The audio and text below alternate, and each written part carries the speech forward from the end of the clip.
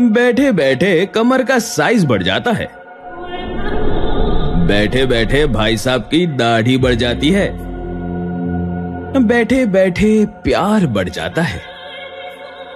और बैठे बैठे तकरार भी बढ़ जाती है।